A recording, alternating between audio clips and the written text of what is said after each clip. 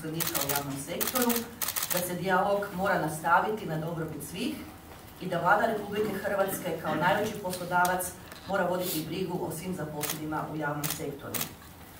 Definitivno i ovi negativni rezultati, negativni glasovi na referendumu pokazatelj su vlade Republike Hrvatske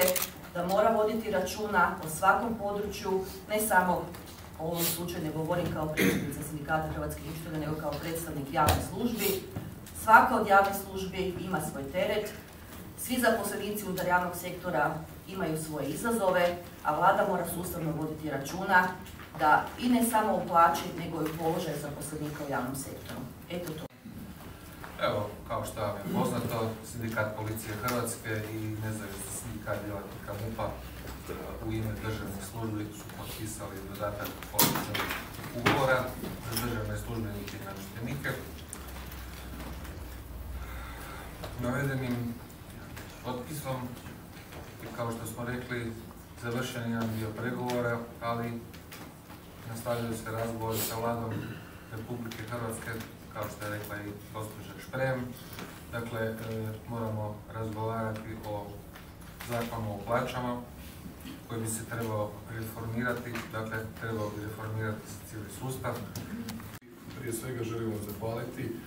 na povjerenju, zahvaliti na razumijevanju i zahvaliti na postignutom kompromisu u vezi sa dodacima kolektivnih ugovora za javne i za državne službenike koje je danas evo s vama potpisao ministar Piletić, zahvaliti njemu i ministru Primorcu i svim drugim kolegama u vladi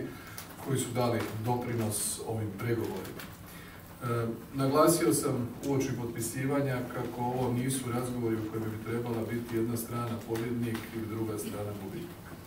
Ovo su razgovori o najvažnijem pitanju koje je zadaća Hrvatske vlade stalno, a to je da unapređuje e, ekonomski i socijalni standard naših građana. Naši su građani svi, i oni koji rade u privatnom sektoru, i oni koji rade u javnim službama, državnim službama, i logično je da ovako kompleksnim okolnostima, a te kompleksne okolnosti su s nama, evo, gotovo već tri godine, referiram se na početak pandemije COVID-19, koji su zahtijevali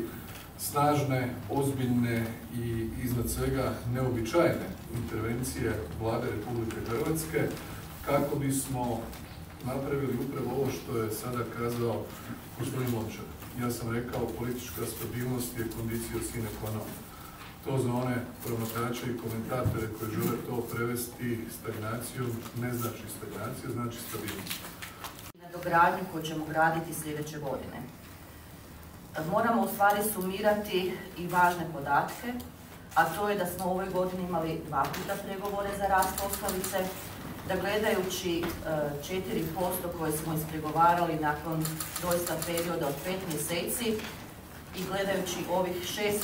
u ovoj godini,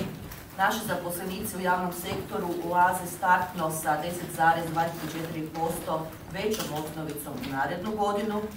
da osiguranih 2% rasta osnovice u narednoj godini, rast je osnovice u 12 mjeseci od 12,44%, a ono što